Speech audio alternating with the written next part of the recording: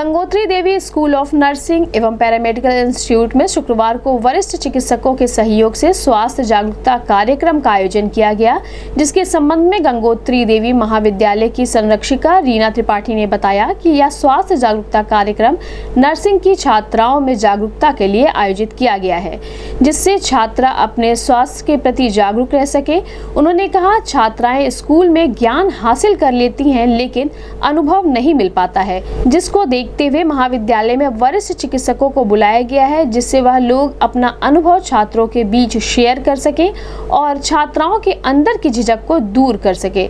उन्होंने कहा, हमें अपने स्वास्थ्य को प्रतिदिन की दिनचर्या के रूप में लेना चाहिए और स्वस्थ रहना चाहिए। इस अवसर पर डॉक्टर ए के पांडे सहित अन्य लोग मौजूद रहे। इस संबंध में गोरखपुर न्यूज़ से बात करते हुए गंगोत्री देवी महाविद्यालय के संरक्षिका रीना त्रिपाठी ने कहा प्रैक्टिस करता हूँ। और आपके में बहुत पुराना इंजीनियरिंग कॉलेज मतलब माफ़ी और जो भी विश्वविद्यालय बन चुका है, उस विश्वविद्यालय में भी चिकित्सालय भी चलता है। हम इसे फोकस करने की ज़रूरत है, क्योंकि अपनी बात हम इससे नहीं कर पाते। आज भी इस पहले परिचय भोजन में हम चाहेंगे कि हम आपके स्वास्थ्य की चर्चा करें और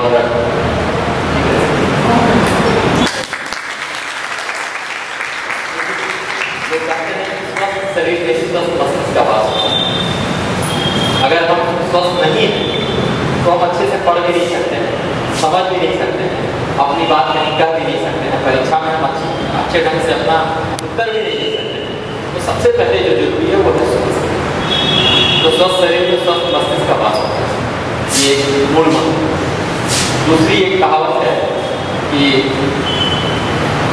wealth is gone so something is gone. Nothing is gone. Health is gone so something And character is gone so everything आज के दौर में हम अगर देखें तो ये बहुत उल्टा हो गया। थोड़ा व्यंगात्मक है, लेकिन इसमें मेरी पीड़ा छूटी है इस बात को मैं कह रहा हूँ। आज जो शिक्षा दी जाती है, उसमें वेल्थ के लिए ज़्यादा दी जाती है। हेल्थ हाशिए पर है, और कैरेक्टर की तो बात हो कहीं चर्चा नहीं मुझे कि हम नई पीढ़ी से कुछ भी कहने में डरते हैं। समाज में खुल के कुछ भी करना हो, उस बात से डरते हैं तो मैं आप लोगों से ये निवेदन करता हूँ कि आप इस पुरानी कहावत को ज़रूर मनन करें। और ये समझ लें कि ये जीवन अगर मिला है तो इसमें सर्वोपरि है वो कैरेक्टर हमारा व्यक्तित्व कैसा है, हमारा चरित्र कैसा है, यही हमको महान बनाएगा। धन और स्वास्थ्य, ये दोनों दूसरे नंबर और तीसरे नंबर पे आज हम बात स्वास्थ्य की करेंगे। तो स्वास्थ्य की बात करेंगे तो आप सब लोगों को स्वास्थ्य परिभाषा तो पता हो। लेकिन हम उसकी छोटी व्याख्या करना चाहेंगे कि स्वास्थ्य जो है, बीमार न होने को हम लोग स्वस्थ मानते हैं। आप ठीक हैं? हाँ ठीक। तबीयत तबीयत ठीक है तो ठीक। लेकिन ऐसा नहीं है कि हम बीमार नहीं हैं तो स्वस्थ हैं। स्वास्थ्य के और भी पहलू एक तो हमारे शारीरिक स्वास्थ्य का पहलू हम बीमार हैं कि नहीं है? ये एक अलग बात है। हमारे शरीर की लंबाई, चौड़ाई हमारी उम्र के अनुरूप है कि नहीं है? हम हैं में हमारे शरीर की लंबाई, चौड़ाई कितनी होनी चाहिए, वज़न कितना होना चाहिए, और ढेर सारे पैरामीटर।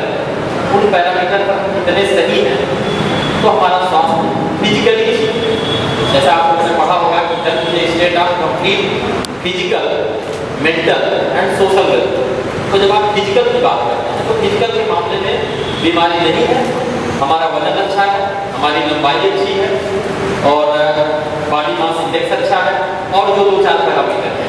छोटे बच्चों में और भी पैरामीटर लगाए जाते हैं। उन पैरामीटर पे सही है तो हमारा फ़िज़िकल हेल्थ सही है।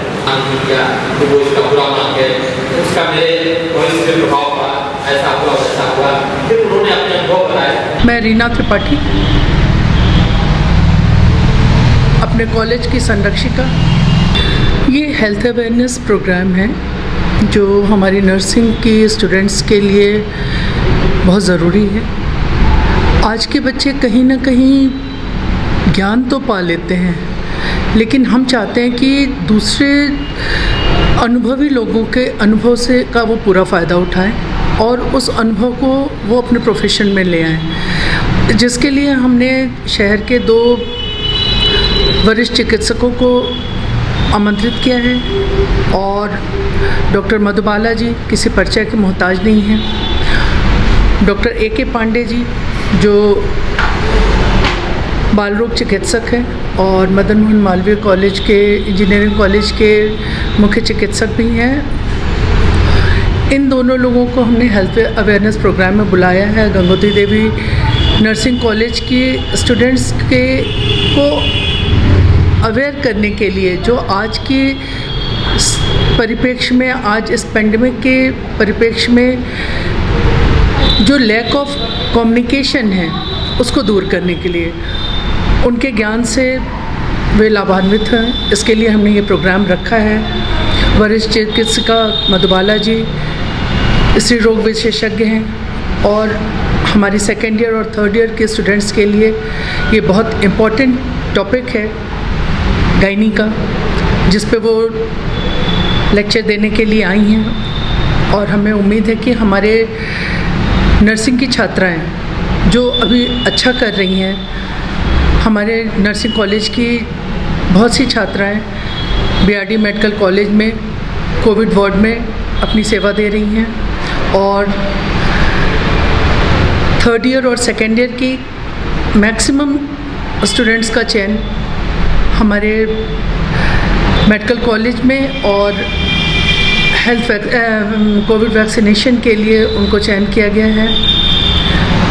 हम चाहते हैं कि इस टाइप के प्रोग्राम करके हम अपने स्टूडेंट्स को और अवेयर कर सकें, उनका एक प्रॉपर एक्सपोज़र हो, जिससे वो अपने क्षेत्र में जब जाएँ तो उनको किसी तरह के हेजिटेशन ना हो, कोई लैक ऑफ़ एजुकेशन ना हो। इस वजह से हम बार बार इस तरह के प्रोग्राम हेल्थ अवेयरनेस प्रोग्राम रख रहे हैं।